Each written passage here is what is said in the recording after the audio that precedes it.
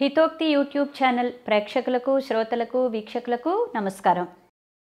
జిజ్ఞాస అనే శీర్షికలో భాగంగా మనం ప్రశ్నలు వాటికి అనుగుణంగా ప్రమాణపూర్వకమైన సమాధానాలు చెప్పుకుంటూ వస్తున్నాం కదా?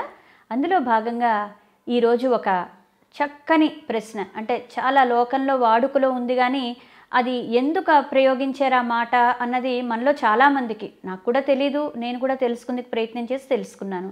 అలాంటి విషయాన్ని ఇప్పుడు మనం ప్రస్తావించుకోబోతున్నాం. ఇంతకీ ఆ విషయం ఏంటంటే మనకు ఎవరైనా ఒక సత్కారం చేశారనుకోండి లేదా మనం ఎవరైనా బంధువుల ఇంటికి కానీ స్నేహితుల ఇంటికి కానీ చాలా కాలం తర్వాత వెళ్ళడమో లేదా ఎంతో ఇష్టమైన వాళ్ళ ఇంటికి వెళ్ళడమో వాళ్ళ సమక్షానికి వెళ్ళడమో చేసినప్పుడు వాళ్ళు ఏం చేస్తారు? మనకి చాలా మర్యాద చేస్తారు. ఎక్కడ లేని ఆప్యాయత ప్రేమ కురిపిస్తారు. ఎంతో గౌరవం చూపిస్తారు. అలాంటప్పుడు మనం ఏమంటాం? అబ్బా బ్రహ్మరథం పట్టేశారు వాళ్ళు అంటాం. అవునా?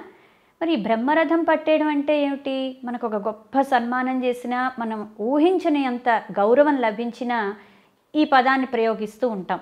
కదా? మీరు కూడా తెలుసో తెలియకో ఈ విషయాన్ని చాలాసార్లు ప్రయోగించే ఉంటారు ప్రస్తావించే ఉంటారు.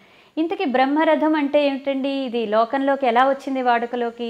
ఈ విషయం తెలియాలంటే మనకి వ్యాస భారతంలో ఉన్న నహుషుడి కథ తెలియాలి. ఈ నహుషుని కథ తెలిస్తే మనకు అసలు ఈ బ్రహ్మరథం అన్న పదం యొక్క పుట్టు పూర్వోత్తరాలు దాని నేపథ్యం అన్నీ ఇలా ఓపెన్ బుక్ లాగా తెలిసిపోతాయి. కథలోకి వెళ్తే ఒకప్పుడు ఇంద్రుడికి బృహస్పతికి ఏదో ఒక కారణం వల్ల భేదాభిప్రాయం రావడంతో బృహస్పతి ఇక తన పురోహితుడిగా ఉండనని ఆ అమరలోకాన్ని వదిలిపెట్టి వెళ్ళిపోతాడు. వెళ్ళిపోతే ఇంద్రుడు మరొకడిని తీసుకొచ్చి ఆ బృహస్పతి స్థానంలో గురువుగా పెడతాడు. అతడికి ఈ రాక్షస బంధువులు ఉండడం వల్ల యజ్ఞంలో హవిర్భాగంలో వాళ్ళకి కూడా భాగం ఇవ్వాలి అని ఒక తంటా తీసుకొస్తాడు. ఇంద్రుడికి అది నచ్చకపోవడంతో అంటే ఇంద్రుడికి తెలియకుండా వాళ్ళకి కూడా హవిర్భాగం ఇప్పిస్తూ వచ్చాడు. ఈ విషయం తెలిసి అతన్ని వధిస్తాడు ఇంద్రుడు. మరి అతడు వెంటనే ఏం జరిగింది ఇక్కడ? ఇంద్రుడికి బ్రహ్మహత్యా పాతకం చుట్టుకుంది. ఆ బ్రహ్మహత్యా పాతకం చుట్టుకోవడంతో ఇక ఏమాత్రం ఇంద్ర పదవిలో ఉండ తగినవాడు కాదు కాబట్టి ఇంద్ర పదవి నుండి వైదొలగబడతాడు. కానీ శచీదేవి అక్కడే ఉంటుంది. శచీదేవి అంటే ఇంద్రుని భార్య. ఇంద్రుడు అంటే అదొక పదవి. అంటే ఇక్కడ మనకి ఇక్కడ మంత్రి ఎమ్మెల్యే ఇలా ఉన్నట్లే వాళ్ళ పేర్లు కాదుగా అవి పదవులు. వాళ్ళ పేర్లు వాళ్ళకు ఉంటాయి అదేవిధంగా ఇంద్రుడు అనేది ఒక పదవి. ఇప్పుడు ఈ ఇంద్రుడి స్థానంలోకి ఎవరిని తీసుకురావాలి అని దేవతలంతా ఆలోచిస్తే ఈ భూలోకంలో నహుషుడు అనే ఒక చక్రవర్తి సర్వ సామ్రాజ్యాధినేత మంచి గుణసంపన్నుడు వెలిగిపోతూ కనిపిస్తాడు. అరే ఈ నహుష చక్రవర్తి ఇంద్ర పదవికి తగినవాడు ఇన్ని యజ్ఞాలు యాగాలు అశ్వమేధాలు రాజసూయాలు చేసి ఉన్నాడు. కాబట్టి ఇతడు ఇంద్ర పదవికి తగినవాడు అని చెప్పి ఈ దేవతలందరూ వాళ్ళ వాళ్ళ అంశాలని ఆయుధాలని ఎంతో బలాన్ని అతన్ని సమకూర్చి వాళ్ళ నాయకుడిగా చేసుకొని ఇంద్ర పదవిలో కూర్చోబెడతారు.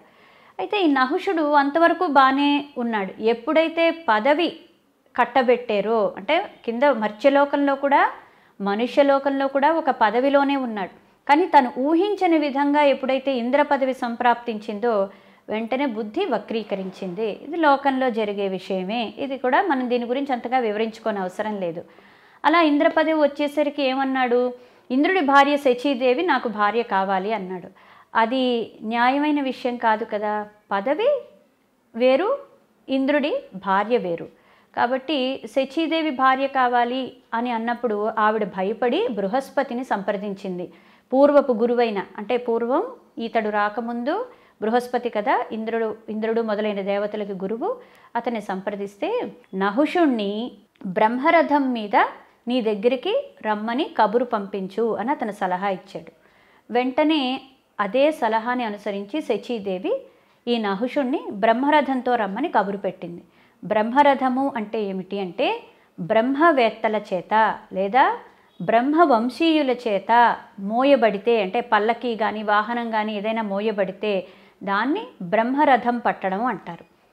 అలాగా ఈ నహుషుడు వెంటనే ఈ బ్రహ్మవేత్తలందరినీ అంటే ఈ మునుల్ని ఋషుల్ని తపస్సుల్ని ఈ గురువుల్ని అందరినీ పిలిచి పల్లకి మొయ్యమన్నాడు.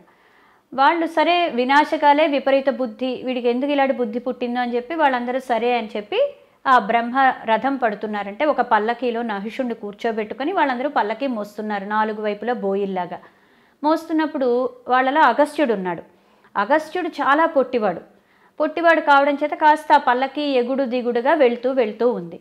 ఎంతకీ నడవడం లేదు పల్లకి. ఆలస్యం అయిపోతుంది. ఈ ఆలస్యాన్ని సహించలేక నహిష్ నహుషుడు వెంటనే తన కాలితో అగస్త్యుణ్ణి తన్ని సర్ప సర్ప అన్నాడు. సర్ప సర్ప అంటే తొందర తొందరగా అని. తొందర తొందరగా కదిలి వెళ్తుంది కాబట్టి పావుని సర్పము అన్నారు. కాబట్టి సర్ప సర్ప అని అగస్త్యుని కాలితో తన్నాడు. అది అదునుగా తీసుకుని అగస్త్యుడు వెంటనే సర్పోభవ అని శపించాడు. అంటే సర్పానివై పడి ఉండుగాక అని నహుషుడిని శపించాడు.